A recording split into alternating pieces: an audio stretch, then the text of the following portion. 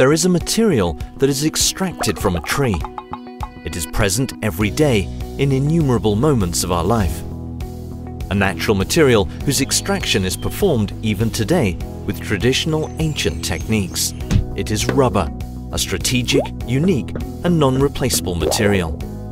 With strength and elasticity, as well as flexibility and durability, impermeability, lasting endurance, dampening and isolating performance, the only material that can be chosen is rubber.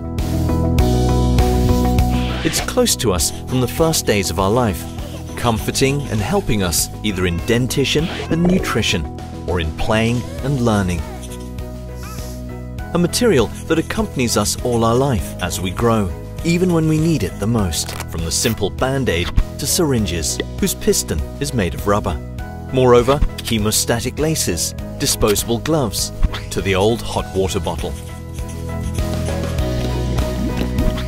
However, when we think about rubber, the first product that comes to our mind is the tyre.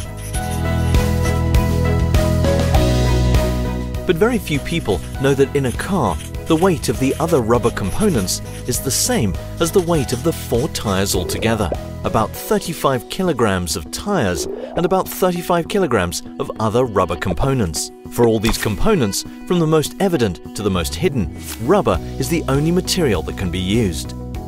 We can find it in the seals of windscreen, windows, windscreen wipers, in hoses for fuel supply and control of the engine, in air conditioning devices and braking systems, in addition to the innumerable sealing and dampening components and many more. We can find these applications also in ships and boats in general, in airplanes, in special vehicles like tanks, and the simple bicycle. Also, in our homes, the applications where rubber is the key player are numerous. It's present in the house structure, where floors and roofs are waterproof, in acoustic and thermal insulations, in hoses for showers, in taps, in seals for windows and doors, and even in the most modern and useful anti-seismic systems. Rubber is used to produce seals for porthole of washing machines and magnetic seals for fridges and freezers, but also protections and hoses for cookers and ovens. Even tasting a true Italian coffee made with a moka pot would be impossible without its sophisticated gasket. Rubber makes it possible to carry energy and data. In order to have electric light and to be connected 24 hours a day thanks to cables. Indoor and outdoor, it assists us in our activities either in the office, thanks to stationery products, or in building sites and industry, thanks to safety devices such as masks, gloves and shoes. If rubber components are present in every industrial plant, in agriculture, rubber is everywhere. Not only work, but also leisure time.